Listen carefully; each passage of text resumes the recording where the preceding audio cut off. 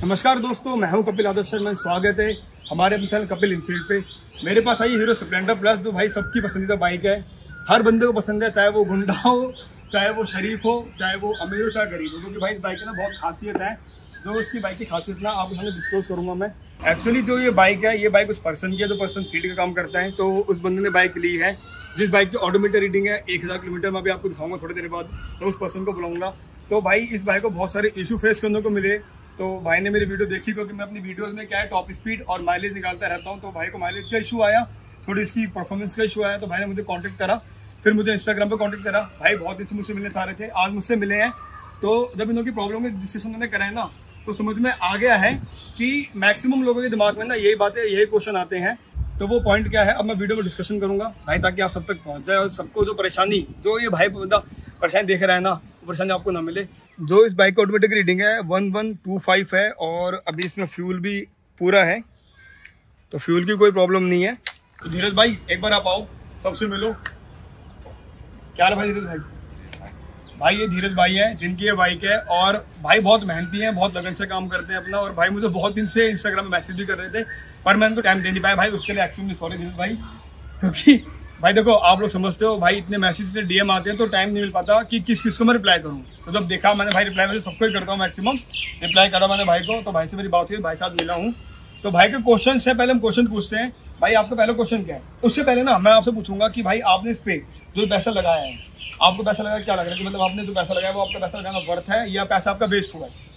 भाई अभी तो कुछ कह नहीं सकते। वैसे जब से ली है वैसे जब से नुकसान ही हो रहा है। अच्छा नुकसान कैसे भाई? जी एक तो क्या नाम है फ्यूल इंजेक्टर की वजह से नुकसान हो रहा है पहली बार अच्छा वो खराब हो गई जी वो खराब हो गई थी। हाँ। टंकी चेंज करवाई है अभी मैंने। अच्छा नई टंकी लगाई? नई टंकी लगवाई है काफ़ी शुक्र है वारंटी में थी। इसलिए कंपनी वालों ने फ्री में चेंज करे नहीं तो चार हज़ार का खर्चा है इसे लगवाने के लिए। फ्यूल इंजेक्टर की वजह से तो टंकी चेंज हुई है सर्विस सेंटर में क्योंकि वारंटी में वारंटी नहीं है तो चार हज़ार की टंकी नहीं है। तो धीरज भाई अपना पहला सवाल बताओ आप। पहला सवाल आपका क्या है? और आप क्या मतलब परेशानी आपको मिली इस बाइक से? तो पहले क्वेश्चन आपसे पूछता हूँ। बताओ भाई पहले क्वेश्चन का पहला सवाल ये है कि सबसे पहले सवाल ये है इसकी एवरेज ये एवरेज नहीं दे रही बाइक बिल्कुल भी जब से मैंने ली है। ये पहली सर्विस हो चुकी है और उसके बाद भी एवरेज नहीं निकल रही है इसकी। तो मतलब कंपनी कितनी माइलेज कर रही है आपसे? कंपनी कम से कम पचपन पचास के करीब तो कह ही रही है लेकिन नहीं निकल पा रही। भाई माइलेज कितनी मतलब निकल के आ रही है अभी तुम्हारे पास माइलेज क्या निकल के आ रही है? वही करीब पैंतीस, चालीस के करीब निकल के आ रही है, ज़्यादा से ज़्यादा। मतलब पैंतीस वाली निकल के आ रही है, सुपर निकल के नहीं आ रही भाई, इतनी मेरी बुलेट की माइलेज आती है, पता है? पैंतीस की माइलेज मेरी बुलेट की आती है नेट वो अगर बस की भी माइलेज निकालू ना नॉर्मली तो थर्टी एट फोर्टी आराम से देती है। भाई, और लंबे रूटों में थर्टी फाइव की माइलेज बहुत प्यार से निकाल देती है। भाई, इसका रीजन क्या है ना, कि देखो माइलेज का रीजन क्या होता है कि जैसे भी आपकी बाइक नहीं है ना तो इंजन को रखना थोड़ा टाइम लगता है। ठीक फ़र्स्ट सर्विस पे क्या होता है इंजन ऑयल चेक चेक करते हैं कि इंजन ऑयल कितना चला है, कितना नहीं चला तो इंजन ऑयल चेंज नहीं होता। सेकंड सर्विस पे आपका इंजन ऑयल चेंज होगा। एयर फ़िल्टर चेंज होगा ऑयल फ़िल्टर चेंज होगा। उसका थोड़ी सी इसकी माइलेज में इंप्रूवमेंट आएगा। थर्ड सर्विस के बाद में आपको इसकी एक्चुअल माइलेज निकल के आएगी कि भाई इसकी एक्चुअल माइलेज कितनी आ रही है, ठीक है? तो जब आपको 45 या 50 के अराउंड में इसकी माइलेज निकल के आएगी, और अगर आप नॉर्मल चलोगे सिटी के अंदर में, शहर में, गली वली के अंदर, जैसा फ़ील्ड का काम करते हो तो भाई आपको 45 40 से ऊपर माइलेज की नहीं मिलने ठीक है? तो 45 40 या 48 इस मतलब 40 से से बीच में आपको माइलेज मिलेगी, पर अगर इसको लंबे रूट पर आप लेके जाओगे तो आपको 50 तक आराम से दे देगी। भाई, दूसरा क्वेश्चन आपका क्या है? दूसरा क्वेश्चन सबसे बड़ा क्वेश्चन है ये। इसमें रिज़र्व सिस्टम हटा चुकी है। हाँ भाई। तो भाई, जो रिज़र्व का स्विच है ना, ये बी एस सिक्स सभी वेरिएंट से हट चुका है। इसका रीजन क्या है? पहले एफ़ इंजन आता था, जो सभी बड़ी बाइकों में आता था। जैसे के टी एम में सब में आने लग गया था। फिर धीरे धीरे क्या हुआ? छोटी बाइकों में स्कूटी में शिफ्ट होने लग गया।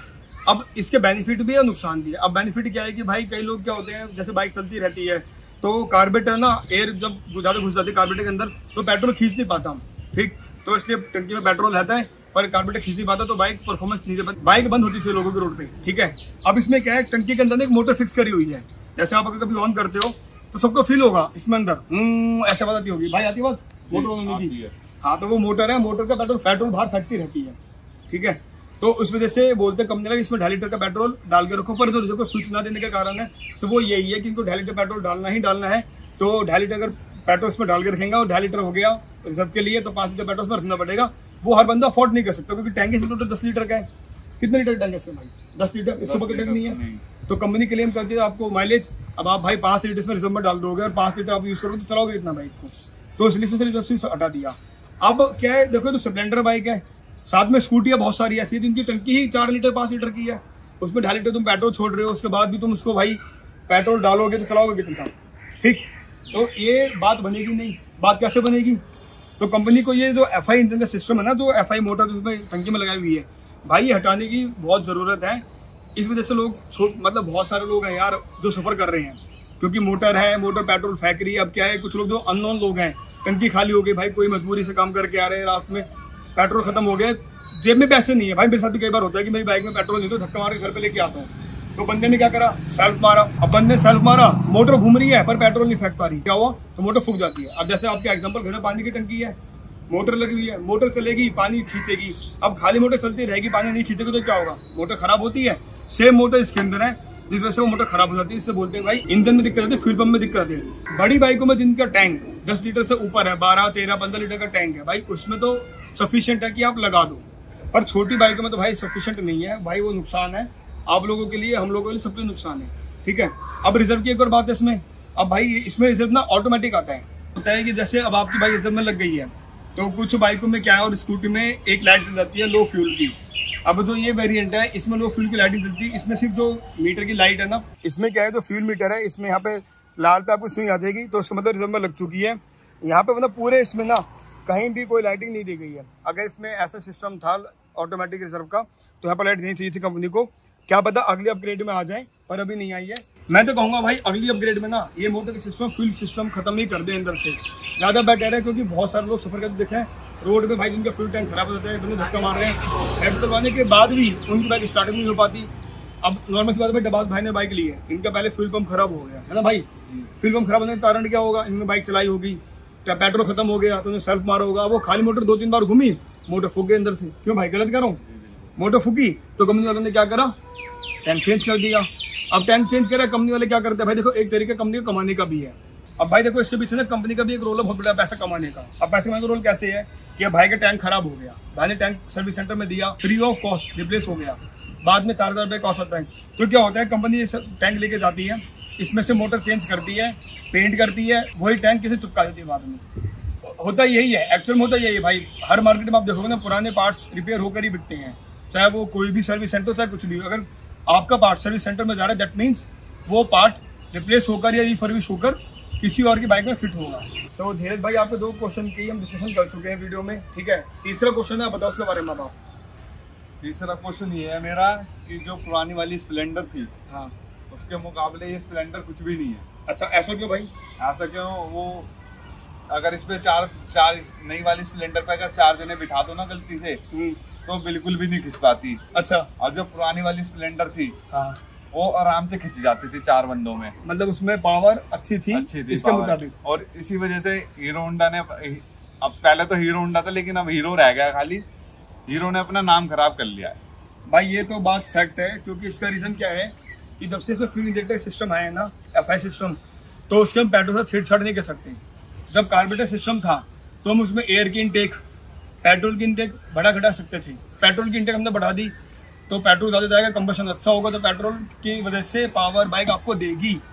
जब हम पेट्रोल की इनटेक को नहीं बढ़ा सकते, ना कम कर सकते, एक कांस्टेंट रहेगी तो भाई बाइक की पावर ही कांस्टेंट रहती है। जब चार लोग बैठते तो भाई खिंचती नहीं है बाइक उसका रीजन यही है कि इसमें आप पेट्रोल की इनटेक नहीं बढ़ा सकते हैं।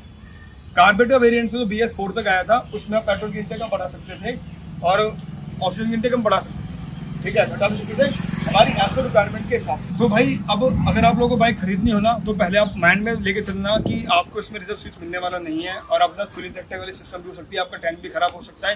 साथ ही साथ में, भाई, कोई भी अगर आपकी टैंक खाली हो जाता है तो एक बार सेल्फ मारो बाइक में पेट्रोल नहीं, बस ठीक है, खड़ी कर दो, आपका फुल इंजेक्टर खराब नहीं होगा। पर अगर कंटिन्यूसली सेल्फ मारे जा रहे मारे जा रहे आपकी मोटर फूक जाएगी। जो भाई के साथ एक बार हो चुका है तो वो लोग आप दोबारा मत करना कोई भी। और तीसरी चीज़ अगर आप नई बाइक या नई स्कूटी कोई परचेज करते हो और आपको माइलेज नहीं आ रही तो भाई माइलेज आएगी आपको सिर्फ़ तीसरी सर्विस के बाद में। पहली दूसरी सर्विस के बाद आपको माइलेज नहीं आएगी। ठीक है भाई? तो तीन सर्विस कराओ तो आपको माइलेज पूरी पूरी मिलने वाली है। तो आप खुश हो अभी? वैसे मिलकर? बिल्कुल। नॉलेज मिली? हाँ जी। दिमाग शांत हुआ? रिलैक्स हो गए?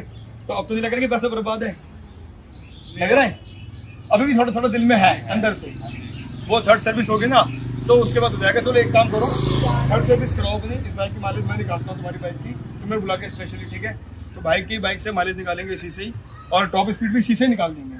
कुछ दिनों में टॉप स्पीड की वीडियो भी आ जाएगी आपको पता लग जाएगा।